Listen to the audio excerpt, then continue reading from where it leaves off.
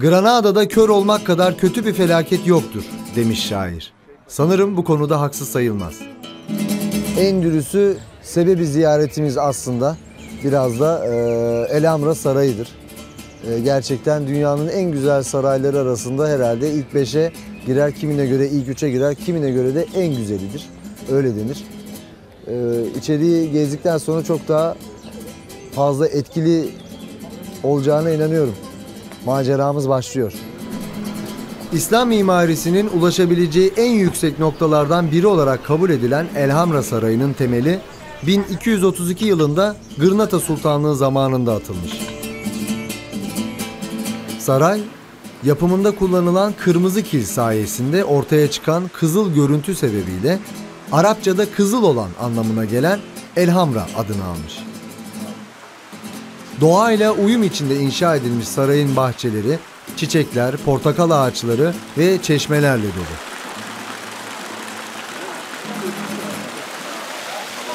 Sarayı gezerken her tarafta böyle akan sularla karşılaşıyorsunuz. İşin enteresanı kalenin kurulduğu dönem burada su yok. Suyu başka bir yerden getirmek zorunda kalıyorlar. Bayağı böyle bir çetrefilli e, yollarla su buraya kadar getiriyor ve Müslüman kültüründe tabi bildiğiniz üzere akan suyun makbul olması da bütün böyle e, sarayın merdivenlerin kenarlarından e, havuzların kenarlarına kadar böyle su yolları oluşturulmuş. Tabi ayrı bir şey katıyor da yani o kadar güzel bir e, duygu yaratıyor ki insanda böyle çok fazla e, insanın da geçmediği zamanlarda böyle kuş sesleriyle beraber muazzam bir huzur.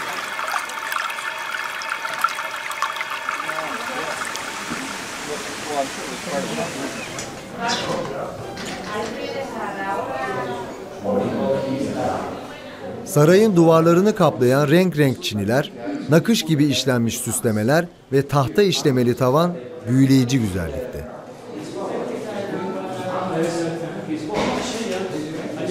E, burası sultanın e, özel çalışma alanı, çalışma odasıymış. E, ortada bir kubbenin altında çalışma masası.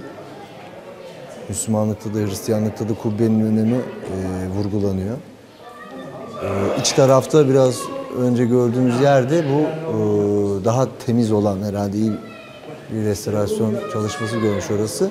Özel odası, has odası. E, namaz kıldığı yer, mihrabı bu tarafta, kıble bu tarafta. Ya muazzam bir şey. Yani gerçekten şok geçiriyor insan. Yani bu işlemeleri elle yapıldığını düşünmek.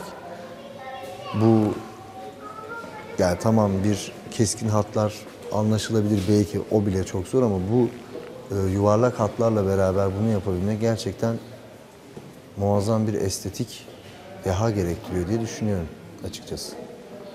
Gene de fena korunmamış. Yani bazı şeyler falan var ama e, iyi korunmuş gene. Teşekkür ediyoruz İspanyollara.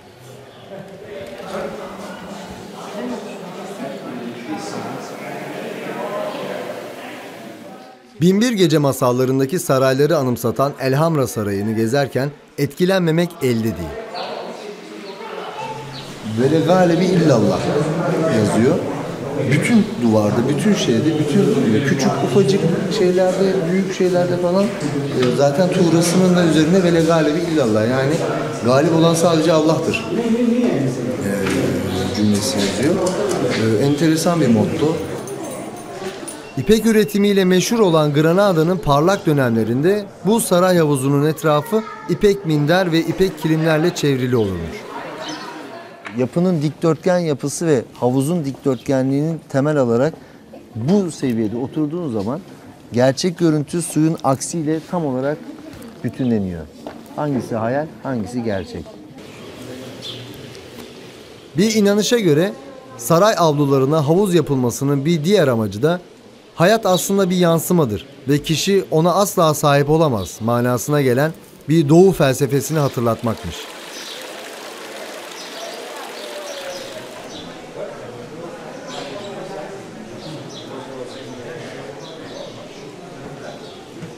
Lahit'in burada ne işi var diye sorarken kendime bunun e, küvet olduğu, sultanın yıkandığı küvet olduğu bilgisi yazılmış. Bana bu çok inandırıcı gelmedi. Bir kere yani bizdeki hamam kültürü düşününce, akan su kültürünü düşününce özellikle böyle bir durgun suda yıkanma ayrıca bu kadarlık bir alanı yıkama o yüzden bir inandırıcı gelmedi. Doğru da olabilir şimdi İspanyollara da yanlış yaz, yazmışlar demeyeyim de enteresan. Bu kadar küvet mi olur canım? Koskoca.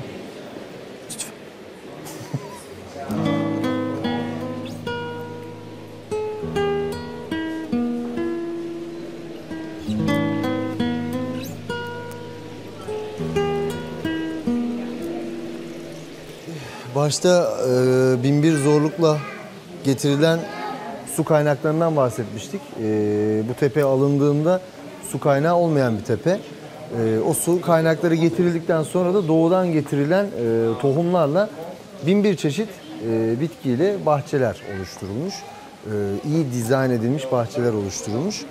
E, bunun tabii bir e, yaşamsal anlamda anlamı var. Bir de manevi bir anlamı var. Cennetül Arif bahçeleri. Hani derler ya öyle cennet köşesi. Öyle bir bahçeydi ki cennet köşesi gibiydi. Tam işte orası.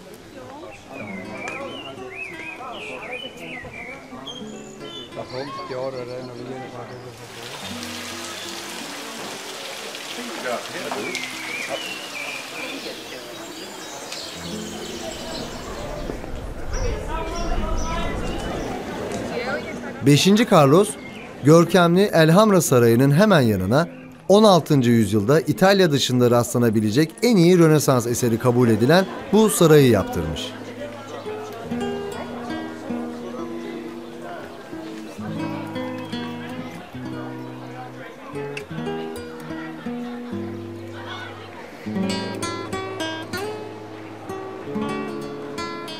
Yani bilmiyorum taraflı mı düşünüyorum, taraflı mı bakıyorum meseleye ama şimdi e, sarayı gezdik hep beraber Elhamra'yı. Yani böyle her yerden sular akıyor, e, bin bir çeşit tohum getirilmiş, ağaçlar fışkırmış her yerden böyle insana e, oraya ait hissettiren, böyle dünyanın güzelliğini hissettiren, bir huzur veren bir tarafı var. Orada yani yaşadığın zaman çok yaşama dair bir şey var orada gibi geliyor bana. Buraya baktığın zaman böyle hep e, büyük sütunlar, yankılanan ses, taş, böyle insanı kendini küçük hissettiren bir duygu veriyor. Biraz Batı dünyasıyla Doğu dünyasının arasındaki fark gibi geliyor bana ama bilmiyorum. Gerçi yani bu benim şu anda kendi düşüncem olabilir tabii kendi düşüncem. Yani sizin kendiniz e, gelip hissetmeniz lazım ama benim galiba aklım bahçelerde kaldı.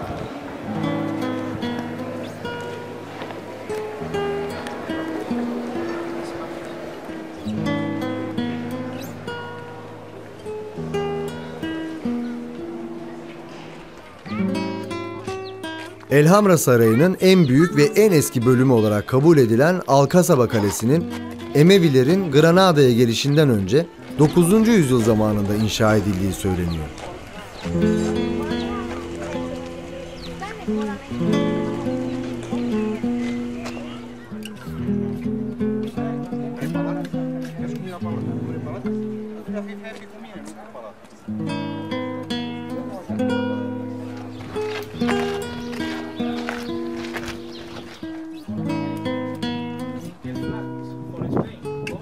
Kalenin en ucuna geldik. Savunma hattının en ilerisi burası. Yüksekçe bir kule inşa edilmiş. Sarayın güvenliğinin en uç noktası.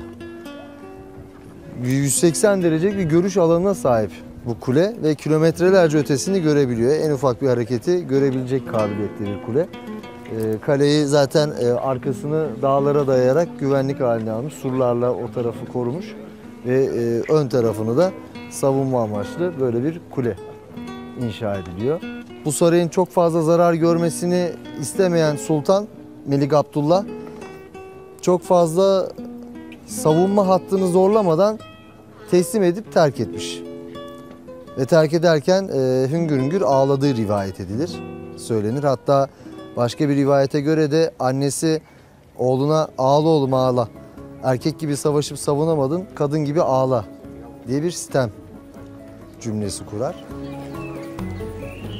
Ne Endülüs sokaklarının anlatacağı hikayeler biter ne de bendeki bu seyahat tutkusu. Artık benim için eve dönüş zamanı geldi. Ama farklı rotalarda farklı hikayeler devam edecek. Hoşçakalın.